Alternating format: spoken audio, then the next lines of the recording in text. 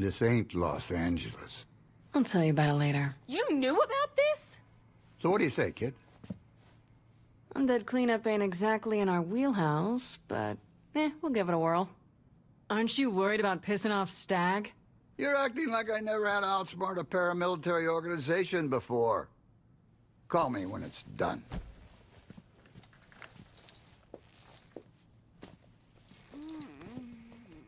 Oh my god, this guy is fucking